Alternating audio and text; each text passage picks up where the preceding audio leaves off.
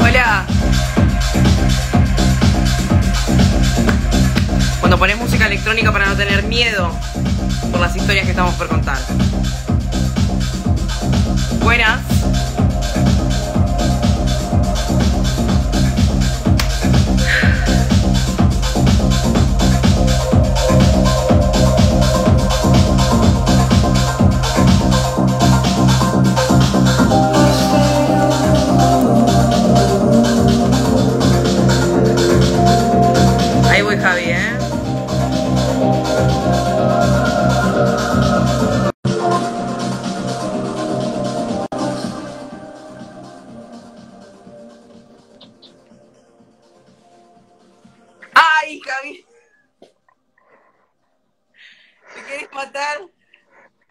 Evelyn,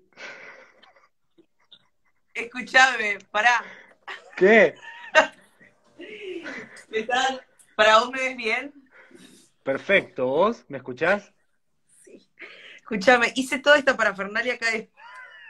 No, boludo, me haces, me haces acordar mucho a una escena de, de Host y me da mucho miedo.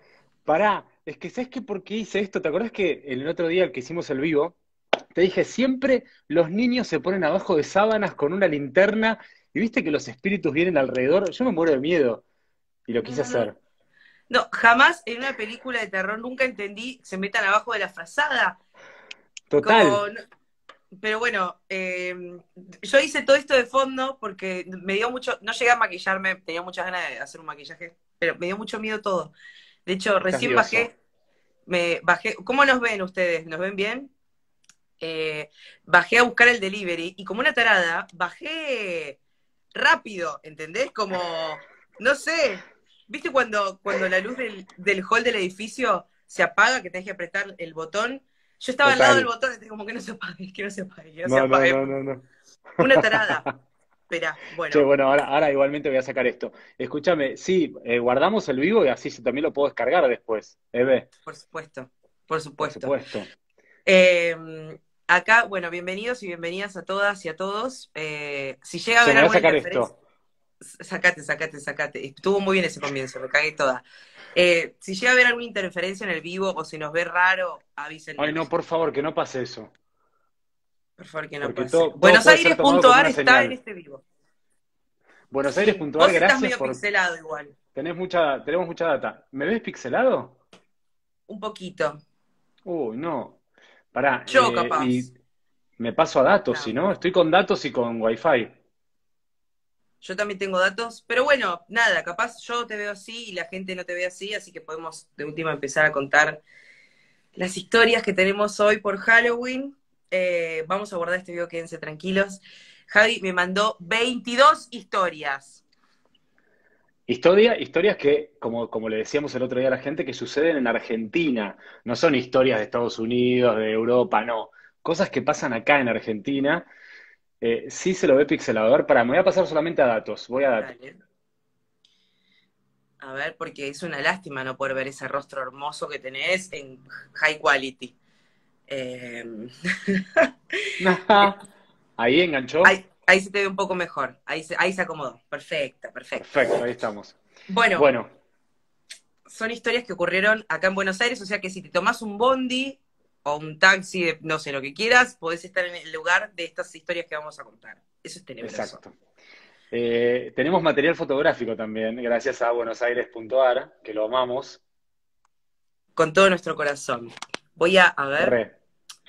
voy a... Limpia la cámara. Pará, porque hoy- Tengo la cámara limpia. Para, yo me veo bien. También tiene que ver con el wifi de la gente. ¿Vos me ves bien a mí? Yo te veo bien, estás súper buena calidad, pero estás. Eh, Qué raro. de- A ver, bueno. Voy a ir Mm. a alguna de las fotos que me mandaste. La Empecemos. primera, pará. La primera. Empecemos. Sí, sí, sí, Dale, estoy yendo para atrás. Empecemos. Espérame un segundo, ¿eh? Porque me mandaste 22 historias, no quiero que se olviden de eso. Ahí vamos, ahí vamos. Estoy llegando acá, bien. La primera Sí. imagen que tengo es esta. Sí. Ahora apretá sobre la imagen que va a quedar en el costadito. Sobre la pantalla.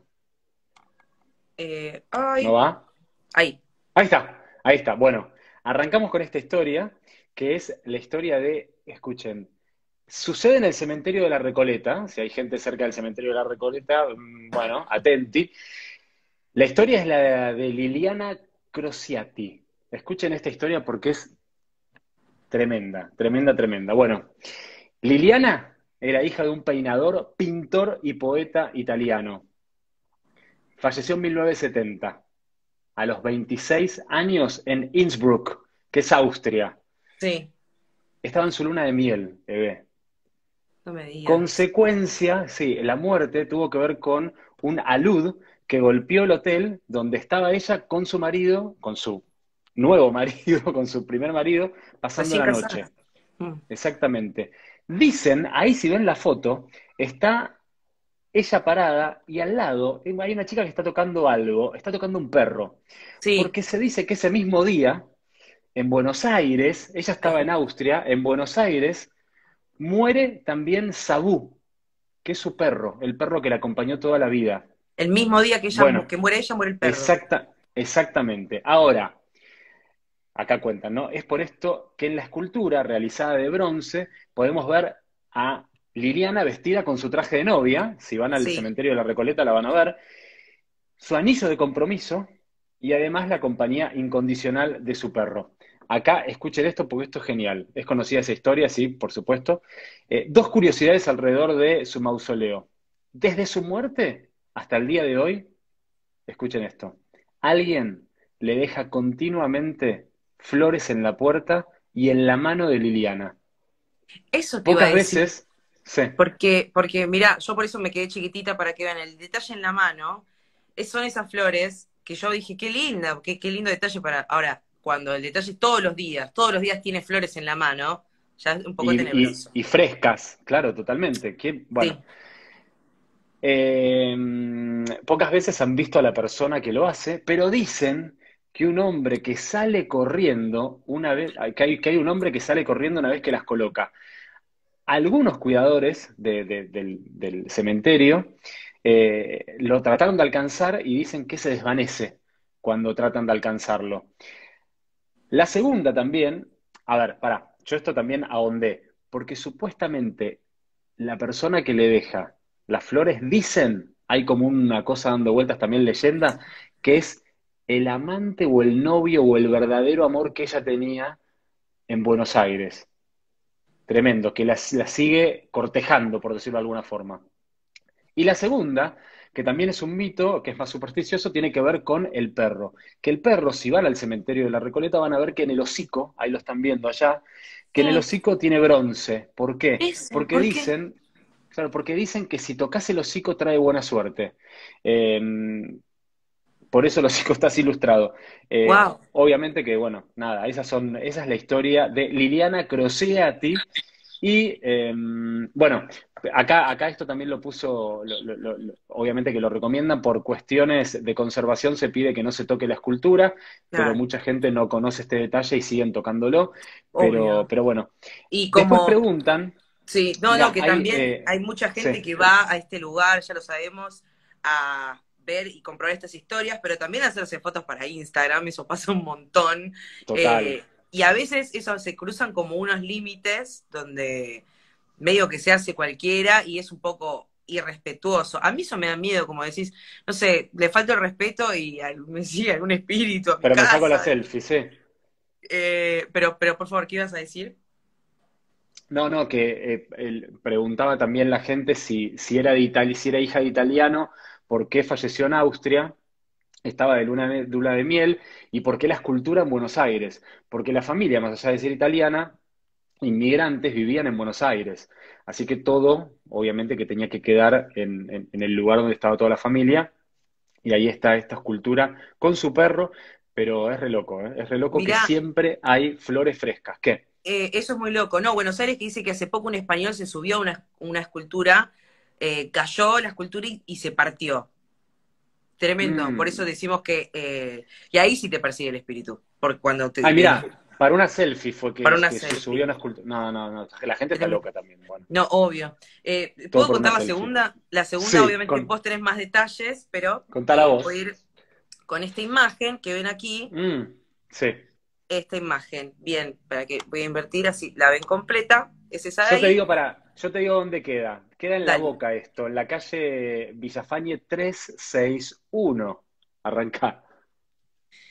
La Torre del Fantasma se llama. Mm. Tendría que poner un poco de música de terror, ¿no? Para esto, pero es medio como una verga. A ver, pará, dame un segundo antes, si de contar va. esta historia. Eh, voy a poner terror. Esteban Prol, te amamos. Dice que nos vemos ¿Está muy este? bonitos. Ambos trabajamos con él. Sí.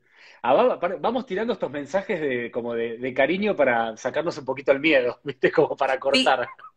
Sepan que, porque mucha gente estaba preocupada que, que se iba a quedar sola y después iba a tener miedo, pero vamos a terminar con recomendaciones de comedia de, Exacto. de Javi y eh, un montón de. A ver, ¿qué, ¿qué onda esta música? Seguramente venga publicidad porque así es YouTube, ¿o no? Estamos con, estamos por entrar en la historia de Torre de Fantasma. Muy terrorífica esta música, ¿no? Muy, muy de payaso, que me da miedo. Le, le voy a bajar el volumen porque ya me, me- me resultó perturbadora. Bueno. La Torre del Fantasma. Eh, se dice que todo comenzó cuando María Luisa Aubert, una estanciera multimillonaria, le encargó a un arquitecto catalán la construcción de este edificio que están viendo acá al costadito. Eh, de este edificio con departamentos para vender. Pero al ver el trabajo final, Obert decidió quedarse a vivir ahí. Mirá lo que es la torre, si la ves, Es hermosa, sí. sin saber que está toda embrujada, porque claramente si estábamos contando esta historia porque está todo mal, eh, decís, qué lindo lugar. Mirá esa esquina lo que es, es excelente. Es Vista hermoso, 360. Poco a poco, todos los sirvientes se fueron yendo del lugar y nadie quería trabajar en ese lugar. Ya ese es un indicio raro. Los vecinos decían que eh, escuchaban todo el tiempo los gritos de la señora y de los pocos sirvientes que se quedaban. Nada más perturbador, vos, el que vive solo acá, se da, eh, vos no sé dónde vivís, pero si tenés el ruido de tus vecinos, te da como... eh, Creepy, escuchar- sí. Claro, alguien grita, bueno, los vecinos decían que se escuchaban los gritos. Una noche, sin dar explicaciones, Obert aba- abandonó la casa. ¿Vos cómo lo pronuncias el apellido? Obert. Obert. Obert. Sí, Obert, sí. Abandonó la casa y se recluyó en su, instan- en su estancia. Ahí fue cuando la torre más alta fue alquilada por Clementina, una artista. No, dale, no, no, no hagas eso. No, no, no hagas eso. ¿Te pensás que a mí me no me gusta? gusta. No, no, no, No. no, no, no, no. Acá- no, no, ¿Estás acaba de pasar una. Voy a sacar esta música, boludo, me, me perturbó. Eh, acaba de pasar una moto, pero era muy áspero el ruido del coso. Me cagué toda. Y No. ¿qué es eso? Parecía una motosierra. No, no, ya está. Era una moto, era una moto. Perdón. Una noche, sin dar explicaciones, Obert abandonó la casa y se recluyó en su, estan- en su estancia. Fue entonces cuando la torre más alta fue alquilada por Clementina, una artista plástica que instaló allí su atelier. Eh, Sí. Dicen que era tan bonita y amable que todos los vecinos la querían. Un día, una periodista llamada Eleonora fue a hacerle una nota y tomó fotografías de su obra. Las inconclusas y las terminadas. Fotos de todo el trabajo del artista. A partir de Mm. ese momento comenzaron a escucharse gritos que venían de la torre, donde sucedían todo tipo de hechos misteriosos. Finalmente, Clementina saltó al vacío desde lo más alto de la torre y murió. La artista que le fue a, eh, la, mm, eh, La periodista. La periodista. Eh, cuando Eleonora se enteró que Eleonora no estaba, digamos, eh, Clementina No, no, estaba la, esta- estaba en la estancia. Claro. Ah, ah, pero pensé Pero que ella- ella estaba, estaba presente No, el día de la no, foto. ella, no, ella la alquiló a Clementina y Clementina hizo su vida, se terminó tirando y cuando la, la verdadera dueña se enteró, ahí Acá. continuó, Ah, claro. cuando Eleonora se enteró, reveló, reveló las fotos y una imagen aterradora apareció en una de ellas. Tres duendes ay, No, no, no, no, no, no, no, no. eh, rodeaban una de las pinturas. Eleonora investigó y supo de la existencia de Aubert, viajando a la estancia para entrevistarla. Mientras conversaban, Au- Aubert, Aubert le preguntó si creía en los duendes y comenzó a contar la historia de los maléficos duendes catalanes que cuando se alteran hacen todo tipo de travesuras.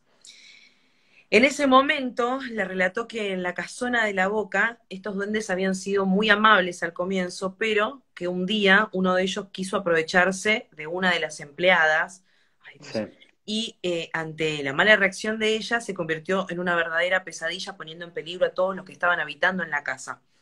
Eh, este fue el motivo por el cual Aubert abandonó su casa para siempre, digamos. María Luisa Aubert, claro, es la que abandonó, y Clementina es la que alquiló, y Eleonora es la periodista. Ahí estamos. Perfecto, muchísimas gracias. Es que todas tienen nombres extravagantes, pero muy parecidos. Sí. Eh, y eh, este fue el motivo por el cual abandonó su casa y posiblemente el responsable del suicidio de Clementina. Mm. Eh, me, dio. te voy a decir una cosa: muchas de estas historias no las leí para verlas ahora. Sí te digo, a mí lo que me dio miedo es que mucha gente estaba comentando que esta historia la conocían y que es real y que tienen gente que, estaba, que, que, debe ser vecino o qué, pero dice, muchos decían eso, estaban poniendo eso. Mm, Voy a poner musiquita de, fondo, perdón. Mm. Pone, pone. No, voy a poner, estaba sonando... Em, Dance. Sí, la voy a dejar de No creo en los duendes, dice algunos. Que alguien hable de la parálisis del sueño, duendes, bueno, a, mí, a mí los duendes me dan como cosa. Pero y de hecho no hablaría mucho más de ellos porque, porque conozco historias, entonces me quedaría mm. ahí como... Mal, mal, mal. ¿Seguimos con otra? Con esta. Ahí está, esa. Bueno, esta mansión está, para que les diga dónde está ubicada, está en Barracas, en Avenida Montes de Oca al 100. Eh, y escuchen esta historia porque la verdad es tremenda. Y ahora no pasas a la próxima foto porque ahora, ahora, ahora les voy a decir qué. Para, voy a hacer una cosa. Eh, voy a, lo lamento, chicos, voy a, eh, ay, no, no, no quería, no quería. Espera, voy a, desactivar los comentarios porque empiezan los comentarios maliciosos. Entonces, quiero que nos concentremos en, lo nuestro y lo activamos en roto. Pues ya vi un comentario malicioso, entonces lo saqué. Dije, ah, yo no vi nada. No, no te importa. Eh, continúa. Para, para, para los dos fue, oh, qué gente tremenda. No, no, no, no importa. Los activo en un rato, pero, pero empiezan los chistes, eh, entonces. Ah, no, sí, no, no, obvio. No, porque aparte yo, en esta situación, cualquier cosa que me digan me sugestiona muchísimo. Entonces, eh, por favor. No, no, no. Bueno, esta mansión, ahí la estamos viendo, pertenecía al millonario Eustaquio Díaz Vélez, un hombre muy caprichoso, que escuchen esto, tenía como una atracción muy especial tener leones. No era Joe Exotic, el, documental de Netflix, no, era antes. Tuvo un parque, tuvo en su parque grandes leoneras construidas por él y los cuidaba como si fueran sus gatitos. Bueno, señor. Dice el mito que en 1930, cuando se celebraba en esta mansión el casamiento de su hija, uno de los leones misteriosamente escapó, salió de su jaula y atacó a su prometido matándolo en ese momento. Y tenemos la foto porque, de hecho, hizo eh, la escultura de esa situación, ahí lo están viendo.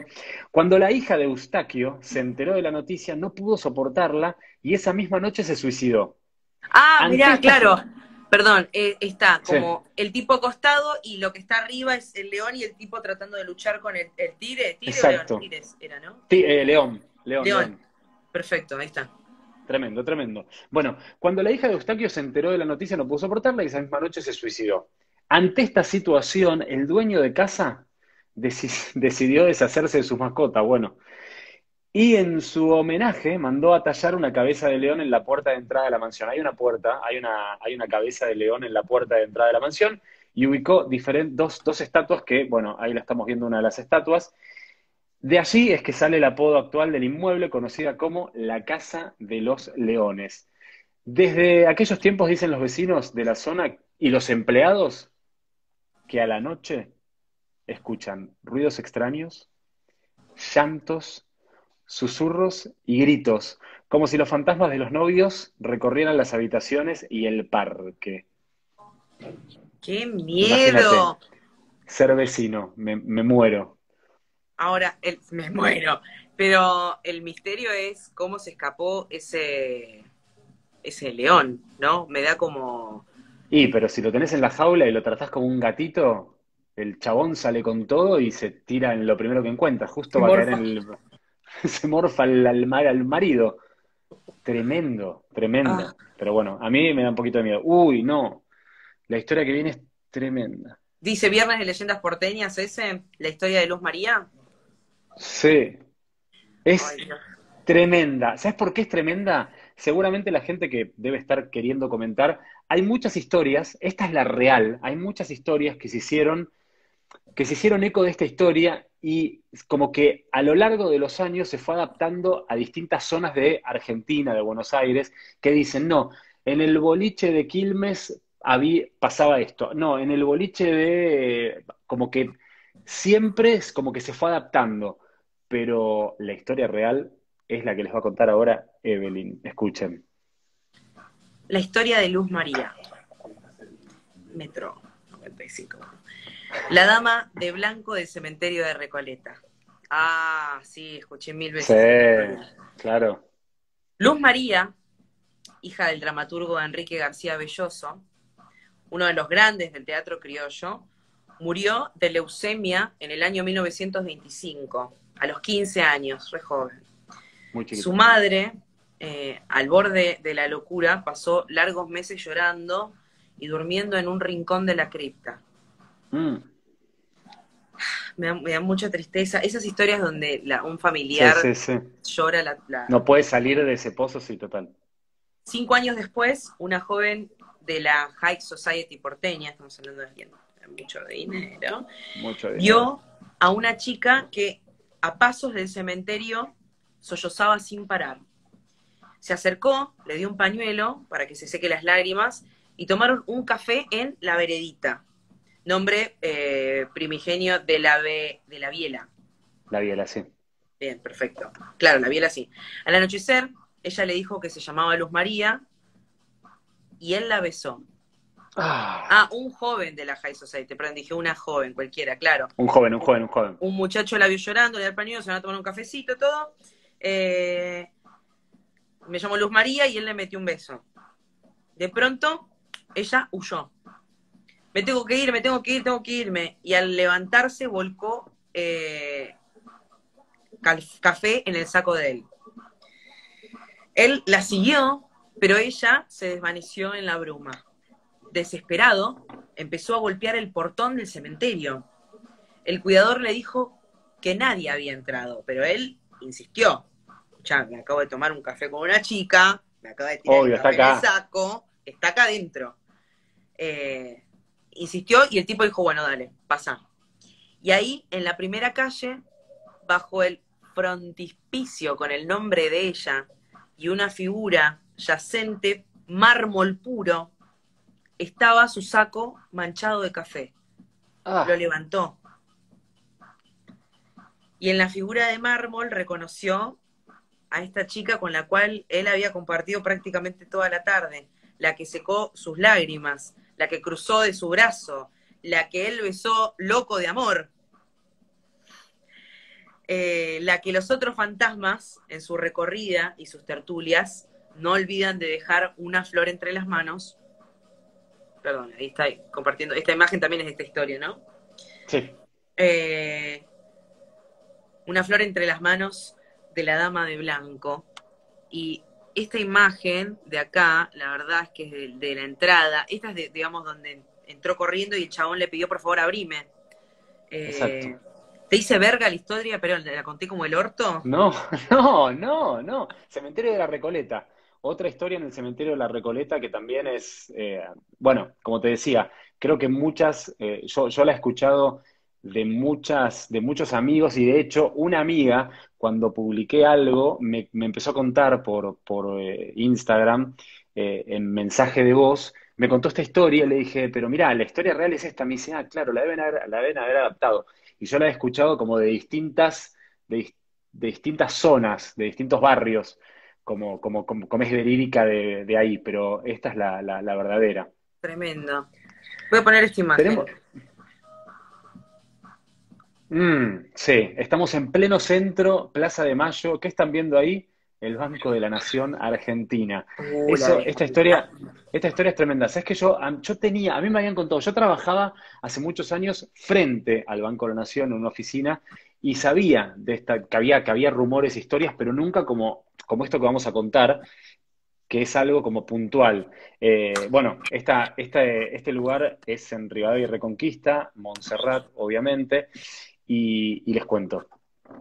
Em, se dice que este monumento histórico, eh, edificio, además de cajas de seguridad, atesora cientos de espíritus porque allí se encontraba el hueco de las ánimas. Cuando Juan de Garay fundó la ciudad, en este solar se estableció la primera capilla y cementerio para el responso de las almas. Cuentan que con el correr del tiempo el pequeño templo se mudó a la esquina donde actualmente se encuentra la Catedral Metropolitana. Pero no sucedió lo mismo con el Camposanto, lugar de descanso de, los, de los enterrados. Según relatos sobre la historia de este lugar, hasta 1865 no había ni un farol, solo un letrero que decía, no pasen por esta calle que andan las ánimas, las almas. Se rumoreaba también que de noche era tan sombrío que muy pocos les daban ganas de pasar por ahí. Pero bueno, ahora volvemos sí al presente. Las jornadas nocturnas, ya se sabe, las jornadas nocturnas en nuestro país son muy largas, en cualquier parte del mundo, eh, y eh, acá dentro, en el Banco Nación, pasan cosas. Y acá viene el relato, porque el relato está contado por vigiladores y personal de limpieza que trabaja Esos adentro testimonios, del banco. esos testimonios, Es que, Eve, que te, que te toque trabajar de noche en un lugar así, que no hay gente, que no hay un alma, y que escuchás un ruido y sos vos y quien más esté ahí. Porque los de seguridad siempre están mirando las cámaras. eso Ese es el tema. Yo me acuerdo, yo me acuerdo que había visto una película, La sombra de la noche, no sé si la viste, El miedo que pasé con Ivan McGregor. Él consigue trabajo de cuidador en una morgue y tiene que pasar cada, creo que 45 minutos a entrar a las habitaciones con los cuerpos, a- con una llavecita a chequear. Entonces, esa llavecita que pasa en una cosa que lleva colgada, cheque- deja registro de que él chequeó esa habitación. Va pasando por todas las, por todos los pisos. Llega una noche que hace todo el chequeo y de repente se le prende la lucecita de que hay alguien adentro de la habitación. No, no, no. Imagínate el miedo que pasás con No. esa película. Ewan McGregor, no, por favor, no. Evan McGregor, te amamos. Cantame, cantame una canción de Moulin Rouge, no, no me hagas dar miedo. Miren, Bueno. voy a activar los comentarios de vuelta. Porque Ahí vienen bien. los comentarios. Sí. Ok, ahí estamos. Ahí está. Bueno, uno de los casos más recordados, negado por las autoridades del banco, quedó registrado en la cámara número 4 del circuito cerrado de seguridad. Ese aparato filmó, escuchate esto, filmó a una niña de aspecto fantasmal con una muñeca en sus manos caminando en un sector del segundo piso del edificio. También se cuenta sobre un misterioso hombre de negro que se desvaneció delante de las manos de un policía a punto de asistirlo. Otros hablan de sombras susurrantes que erizan la piel de los empleados noctámbulos.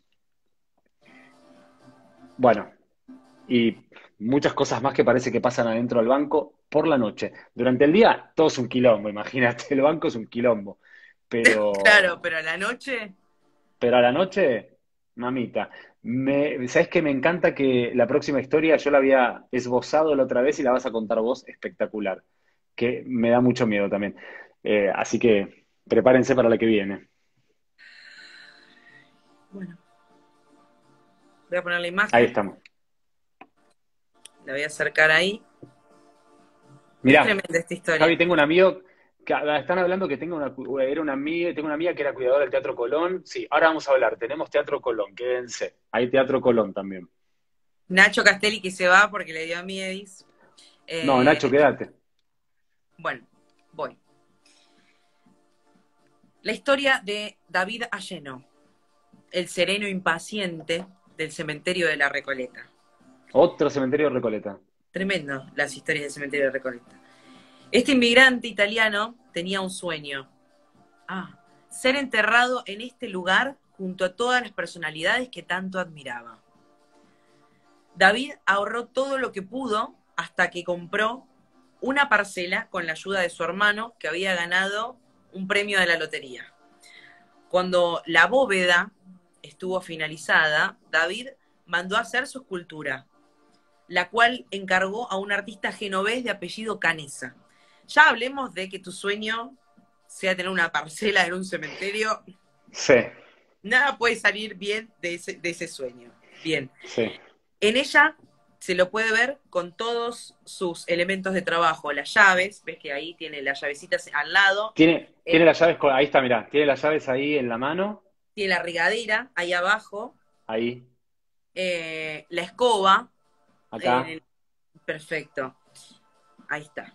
Eh, se destaca la figura simple de alguien que hizo un gran esfuerzo para que la misma sea digna de ocupar un suelo santo. Algo que llamó la atención en su época fue que al instalar la escultura, la misma ya llevaba el año de la muerte de él, 1970. Lo cual es una locura porque vos, si te mandás a hacer eso después, eh, Sí. Lo talla tu familia, 19, ¿no? 1910. 1910. No, estoy leyendo como 70 el era, era, re era, re- era re contemporáneo.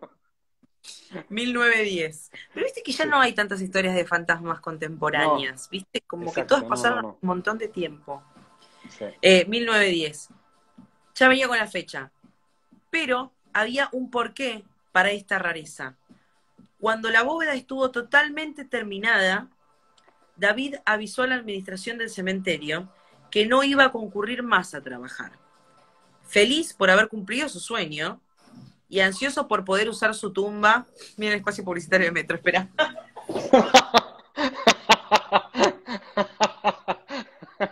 Lo bajé, no lo apagué todavía, porque Espacio publicitario. Ponemos al clima. Le avisó a la administración del cementerio que no iba a ir más a trabajar, feliz de haber cumplido con su sueño. Y ansioso, ansioso de poder usar su tumba a sus 40 años, volvió a su casa y se suicidó.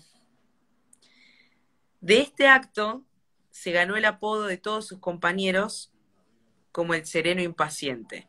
Un tipo que estaba mm, muerto de ganas, valga la redundancia, de estrenar su parcela. Pero escúchame, Eve, él pasó, él, él mandó hacer su parcela con la fecha que él ya sabía, o sea, pensá que 1910 se la tienen que mandar, pidió con tantos días de anticipación, él sabía que ese día tenía que matarse para poder estar el día que, que él, porque tiene, tiene la fecha. Eh, bueno, él en realidad puso al 1910, andás a ver en qué momento, ¿no? Sucedió esto, pero puso, puso el año, no, no dejó pasar 1911, ¿entendés? No. Es tremendo.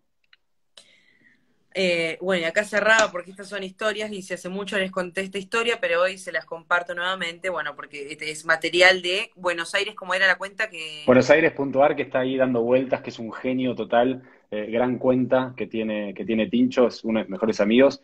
Eh, no, la verdad que esta historia, a mí, a mí cuando me la contó, que te la, de hecho me quedó tanto dando vueltas cuando tuve una charla con él, que te la conté el otro día cuando hicimos el vivo improvisado y, todo el mundo quedó como sorprendido, me mandaron muchos mensajes y, es una locura, ¿no? Tener como, como sueño, como meta eh, una parcela. No, no se puede, no se puede, no se puede, no- uno, uno no puede eh, como eh, hacer un juicio de valor, ¿no? Sobre los sueños de cada uno y demás. No. Para él era, para él era eso, pero es súper loco. Eh, no sé, es- me parece como loquísimo. Pero bueno, tenemos una próxima historia. Sí, La próxima historia es tremenda. Es tremenda, esa, ahí están viendo. Esperen que les digo dónde queda. Eso queda en San Cristóbal, esa mansión en Avenida Entre Ríos al Mil. Esta historia posta es tremenda. Escuchen bien lo que pasó. Se llama El Mirador del Ahorcado. Arriba de todo, de esa casa, hay un mirador. Allá lo ven, allá arriba. Ahí, Ah. mira, allá arriba, pero ahí se ve, se ve. Hay un mirador que es el Mirador del Ahorcado. Bueno, te cuento, esta increíble casona construida en 1922 por el arquitecto Vigilio Colombo, vivió desde, 19 no- desde 1926 en la planta alta la familia Rocatagliata, integrada por Luigi, Glorieta y sus mellizos Emanuel y Vittorio. O sea, una pareja con dos mellizos varones. Y en la planta baja, por otro lado, se encontraba la familia Sick, compuesta por Ernest, Dolores y su hija Celina. Tenemos dos niños eh, arriba y una niña abajo. Se dice que al tiempo se conocieron, las familias se hicieron amigas y los mellizos se fueron acercando cada día más a Celina. Ella era consciente de su belleza y jugaba constantemente a conquistarlos. Escúchate esto ahora, prepárense. La noche del 17 de mayo de 1927, en medio de una tormenta tremenda, ahí sucedió el hecho que vamos a contar. Enfermo de celos por ver la relación de Celina con su hermano, Vittorio decidió ahorcar a Emanuel. El, gemelo ahorca a, su hermano. Luego de unos minutos de entender lo que había hecho, Vittorio subió también al mirador y con un alambre que ató de las vías del techo se suicidó. Pero la historia no termina acá. A la mañana siguiente, Glorieta y Luigi se enteraron de lo sucedido y el papá murió de un paro cardíaco. Glorieta, al descubrir el fallecimiento de sus hijos y su esposo, escuchen esto, intentó arrojarse desde el balcón hacia la vereda, pero la policía lo impidió. Los restos de los Rocatagliata fueron inhumados en el cementerio de la Chacarita. Con el correr de los años, pasó el tiempo, Celina huyó a Brasil y de sus padres no se supo más nada. Nada, nada, nada. Quedó ese edificio vacío. Glorieta, la, mamá de los, de los gemelos que cayó y que no pudo, no pudo suceder eso, murió años más tarde en esa casa de San Cristóbal, que fue luego tapiada, abandonada y subocupada, como se puede ver bueno en estos días, que está, tiene, tiene, ocupación, tiene gente, Qué ganas de vivir ahí. Escucha, pará. La puta madre. Pará, escúchate esto. Solo los que no conocen la historia se atreven a mirar hacia arriba. Nosotros estamos. Ay, te perdí, Javi. La historia se atreven a mirar hacia arriba, las noches de tormenta. Corriendo el riesgo, esto es tremendo, de encontrarse con la imagen de Vittorio ahorcado en el mirador. Este es el mito que esconde la terrible tragedia de los Rocatagliata y uno de los motivos por el cual dicen esta hermosa residencia nunca más fue restaurada. Pero dicen que si llueve, pasás con el auto y mirás para arriba, se me pone la piel de pollo que lo ves a Vittorio ahorcado arriba. El espíritu que se ve que nunca pudo. ¿Pasaste por ahí? No pasé, no pasé, no, no pasé. Me daría mucho miedo pasar igual. ¿Alguien, ¿alguien pasó por ahí de los que nos están ¿Alguien pasó? Mira, Rocío Trenza dice que vivía a la vuelta ella. Ahí la estoy leyendo, sí. Quiero saber si Rocío pasó y miró para, miró para arriba. Si sabía esta historia también. Eh, chocás. Si el vivo va a quedar guardado, quédense tranquilos. Eh, esto, esta, esta casa está en Avenida Entre Ríos al Mil, en San Cristóbal. Están poniendo que no, ni en pedo miro.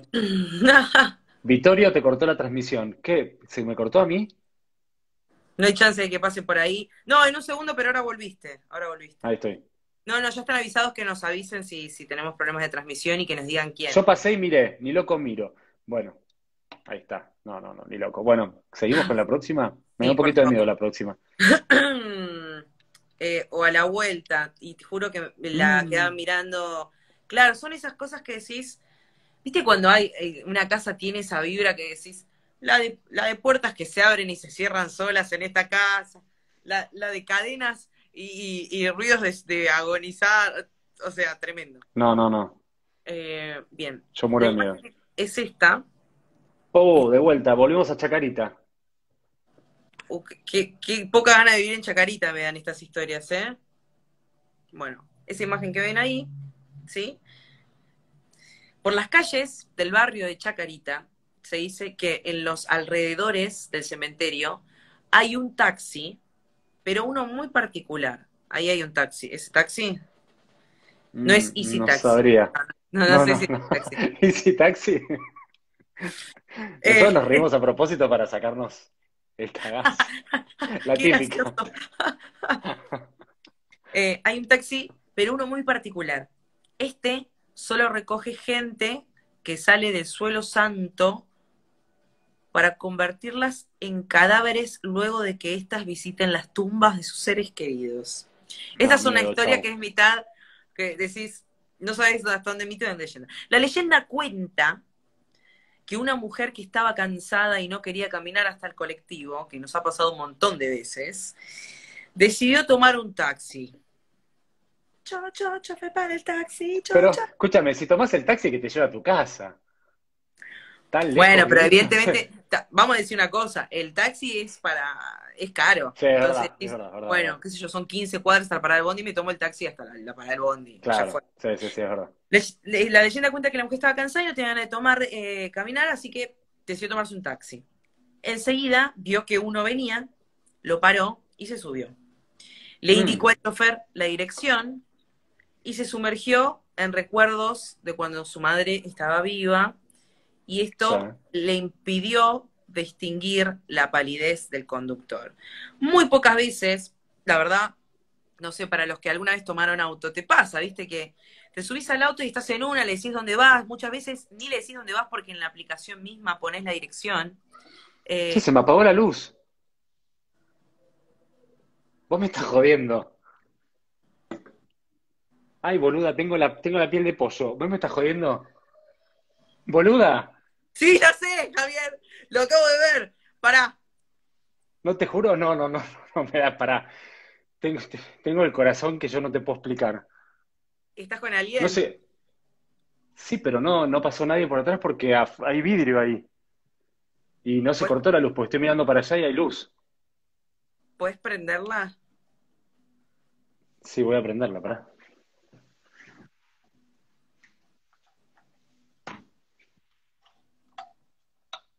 Sí, no puedo prenderla.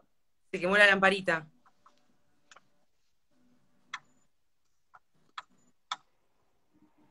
A ver, pará. Vuelvo a, a de- desenchufar y prender.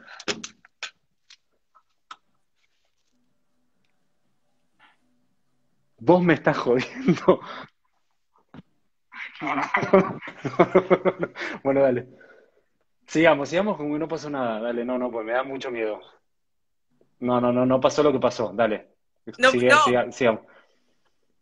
No se quemó la lamparita, mi amor. eh, le cambié de, cambié de enchufe, qué sé yo. Lo- la desenchufé y la volví a enchufar. ¿Sabes? Tuve, tuve mucho, mucho miedo eh, que, que- que pase eso en algún momento. Dicen que Eh, eso es energía. Sí, sí. Pará, ¿querés que pero escúchame. ¿Vos viste, vos viste que estábamos hablando y de repente. No, no, yo lo vi. Aparte. Bueno, no importa, dale, dale, sigamos, sigamos. No, no, no, el pará, pará, piel de pollo, boluda. No, no, sí, por eso, pero, ¿Qué? pero hay una cosa que es cierta, que tiene que ver con la energía, eh, y se me, eh, de- o sea, estoy, tengo palpitaciones, ¿entendés, Javi? Eh, no sé qué Yo tengo, yo estoy transpirando. Yo estoy No. transpirando. Pará, no, ¿querés que pausemos un poco y contemos otra cosa? Hablemos de una, alguna pelotudez. Hablemos de una pelotudez. Mirá, voy a... No, voy a- no, no, están poniendo, no, ya están poniendo que hay una sombra y no, no pongan eso No, no, ya no, me. Esos son No. los comentarios que... No, tranquilo, no, porque no hay nada. No No, hay no, nada no, hay nada, no hay nada. No hay nada, pero, pero sí, es energía. Es energía. No, voy a desactivar los comentarios un segundo. Necesito tranquilizarme, Javi. Necesito tranquilizarme. Eh, no, y vos que estás ahí, esa es tu casa, ¿entendés? Ay, Eh, boluda. Pará, hablemos de otra cosa un segundo, porque sí, ¿con quién, con quién había hablado con respecto de, de esto? Que medio que es como cuando ves una película de terror. Sí, sí, sí, te estás chivando, amigo. Eh, que, que dicen que cuando ves, ves una, una película de terror que te asusta mucho, por lo general ese tipo de cosas como que hacen como, hay como una energía que mueve cosas. A mí siempre eso me da, por eso yo no miro películas de terror. Eh, No, a mí porque- me encantan las películas de terror, pero tipo corto y ya está, y cambio el chip y sé que, que no pasa nada. Pero, pero real, o sea, Tremendo. o sea, no, no, no quiero ni, ni pensarlo. No, no puedo terminar esta historia, amigo. No la puedo terminar. Porque aparte, creo que es la única historia que es como más de, de leyenda y de conexión con el con, con- que, que te llevan, ¿entendés? Eso me da un poco de miedo. Em, ¿Y si la salteamos? Vaso de agua ya, sí, sí, sí, la salteamos, la salteamos, la salteamos, la salteamos ya. Ya la salteamos. Pongan un vaso de agua, dice. No, para, igual, ¿a qué hora empezamos el vivo? Podemos contar 23.30. dos historias más. No, ustedes que están del otro lado, las 1097 personas que, que están ahí, no, no, no tiren, puede ser el sur, ahí está, tipo. no Están preguntando tiren. qué pasó. Contá qué pasó, Eve, vos que contás bien. No, no, eh, lo voy a contar, pero primero necesito calmarme porque de verdad estoy muy alterada. Eh, como que de la gente que también está del otro lado, como que tire buena energía, como que no nos hagan la cabeza a nosotros porque es peor, por lo menos para mí, que estoy haciendo un esfuerzo muy grande para poder hacer esto. Tuve- tenía mucho miedo desde antes. Eh, ¿Por qué el vaso de agua? Bueno, estábamos ¿Por contando qué una historia, agua? No sé. no sé, estábamos contando una historia. eh, Ay, boluda, ¿sabes? Yo no te miento que tengo. Te juro, ¿eh? No, te- es cero teatro, chicos. Saben que cero teatro porque yo no, no, no boludeamos con esto. No, no, estoy igual. Porque, o sea, cero. Mirá. Ay, Javi. Eh, Bueno, dale, dale, contalo, contalo. Es cierto, hay cierta hora que no se puede hablar de estas cosas. Eh, Bueno, pero cierta hora creo que es 3 de la mañana, que Sí, tanta película de terror que tengo, 3 de la mañana me parece que es el, es el horario del, ¿no? Dice que el agua absorbe las energías negativas. Entonces, lo que yo voy a hacer, por ejemplo, es respiremos profundo.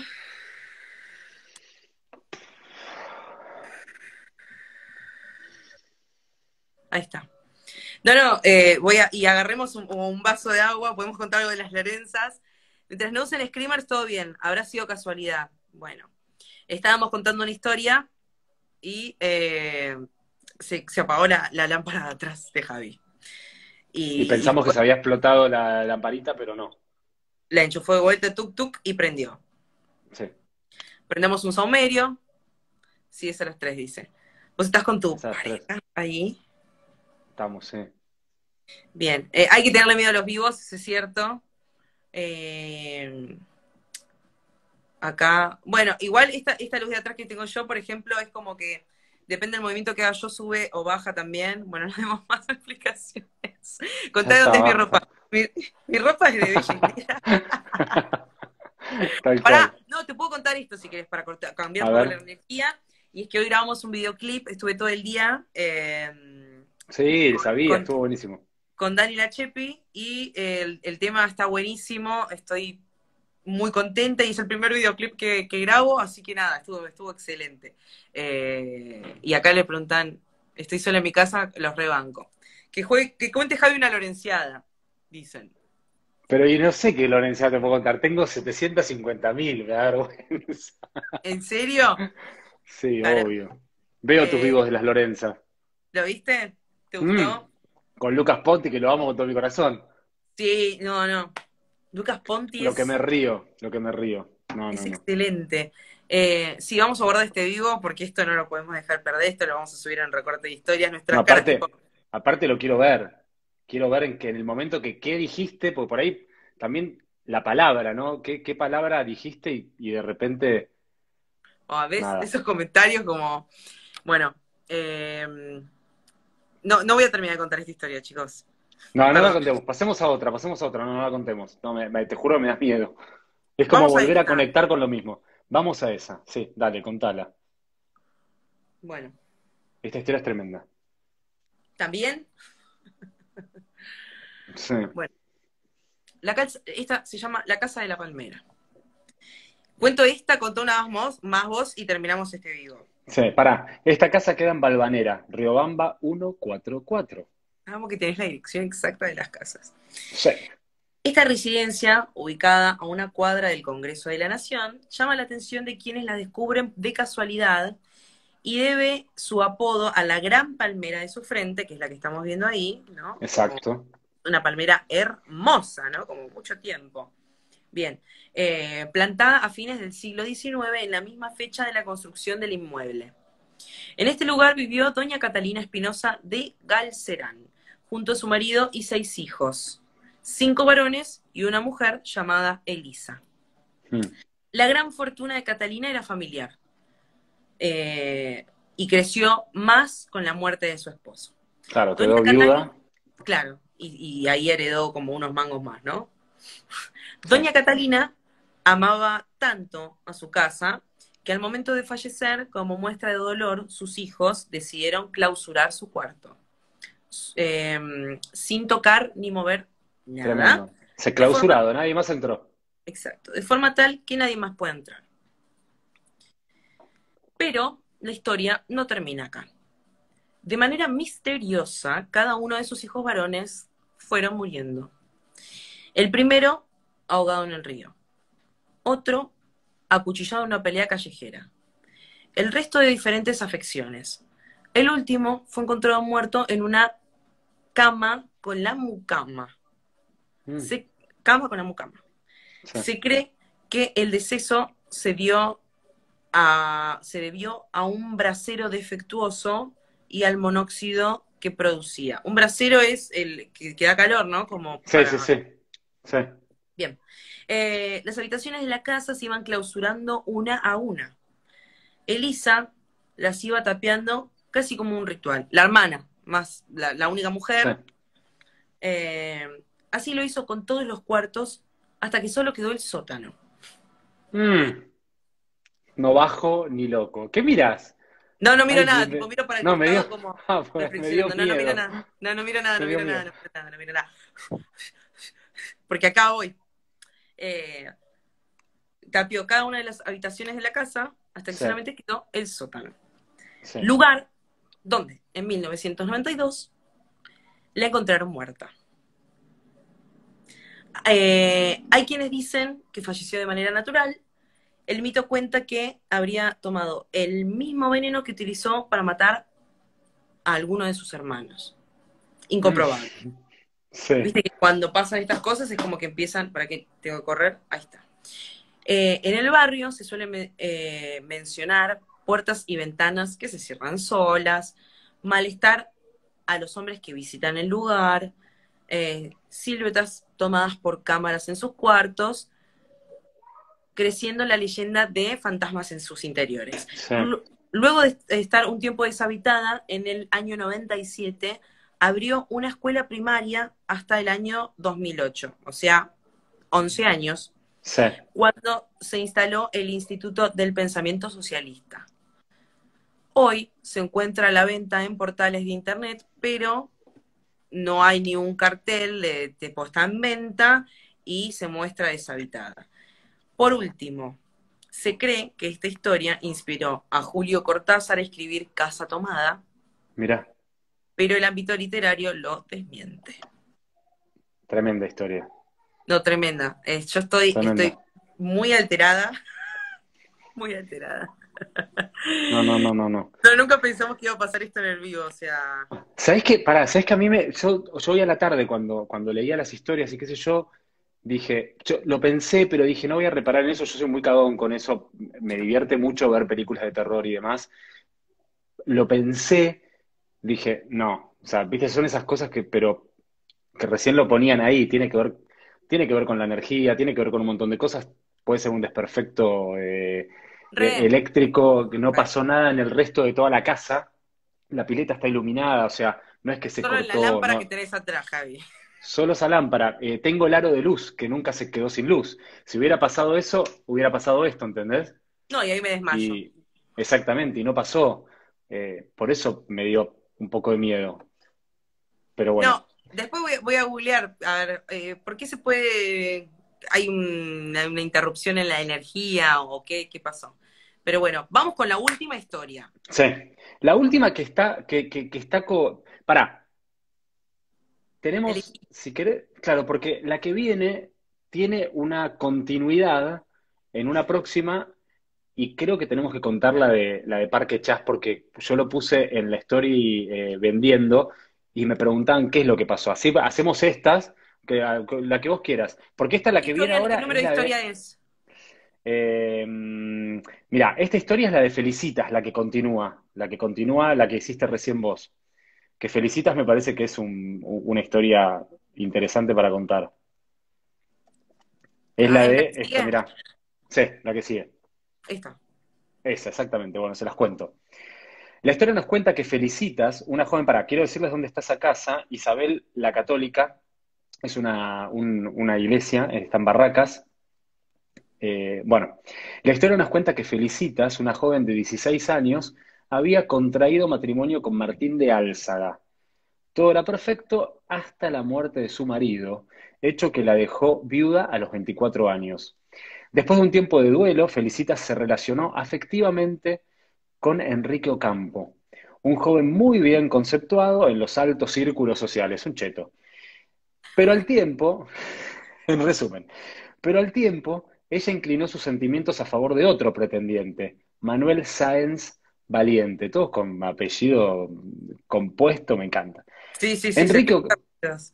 Total. Enrico Campo no aceptó esta situación y con la excusa de devolverle regalos y cartas, organizó una reunión con Felicitas, la cual terminó con dos disparos en el cuerpo de la mujer, quien murió al día siguiente, el 30 de enero de 1872.